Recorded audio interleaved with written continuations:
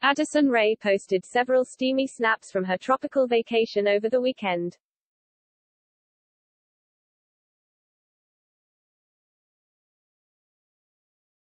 The actress, 21, shared a plethora of pictures via Instagram in which she showed off her skin under scant bikinis.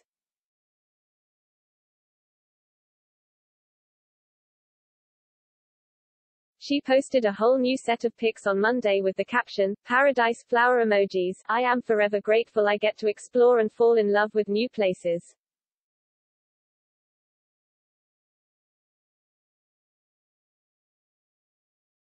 Never forget to stop and smell the roses, rose emoji, black heart emojis. Rae donned a sheer black cover-up that hugged her body tightly.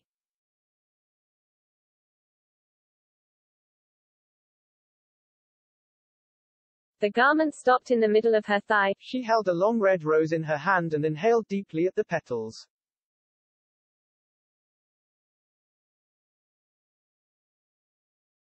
The He's All That actress then posted a clip where she wore a different cover-up over a light blue bikini that showed off her ample cleavage as she leaned forward.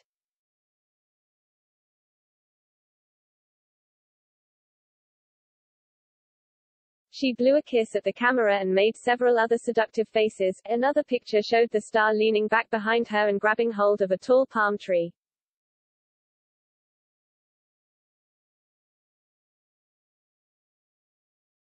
She then posted a pair of clips, one in which she went whale watching and another where she applied makeup in the mirror.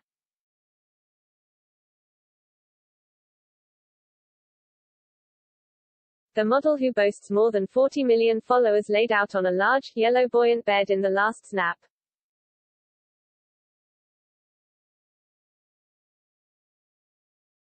While she posted several photos on Monday, she'd already posted a number of vacation pics just a couple days earlier.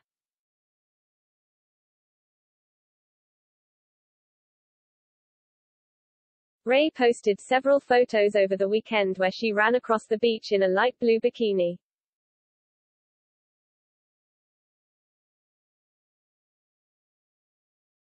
The thong-style garment accentuated her pert derriere as she ran toward the clear blue water.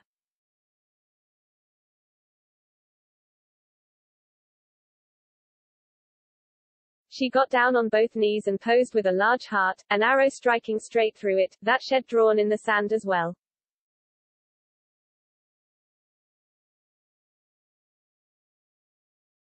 Rae captioned that post, Yo, listen up here's a story about a little guy that lives in a blue world, followed by a series of emojis.